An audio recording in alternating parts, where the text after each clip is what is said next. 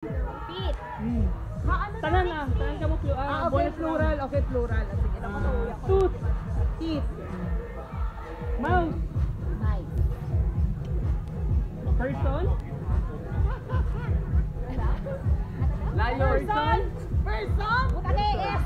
Persons. Hmm, mali. Alayo ba? Ay, silang dalawa. Di mo sir. Balik ka dito. Wolf.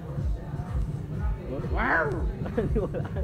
Kung damo nga wolf, ano? I wolves. Oh. Way ka na. Knife. Knives. Yeah. Dua. Leaf. Lips. Yeah.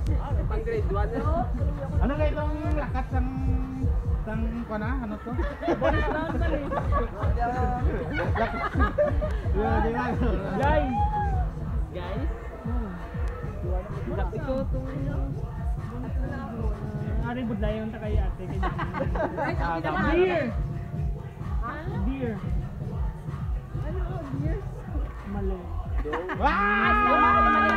Yes! Yes! Perfect si ate. Do. Do. Deer gyapon. Dear Yapon. Go is the lalaki. No. Sorry. Damo ka naman.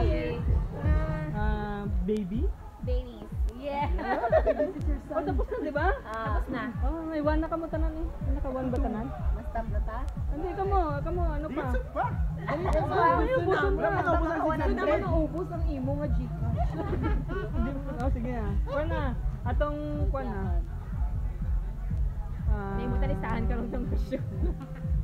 Atong kwan ta ni no? Atong clue, atong ano ba Plural, ay singular to plural.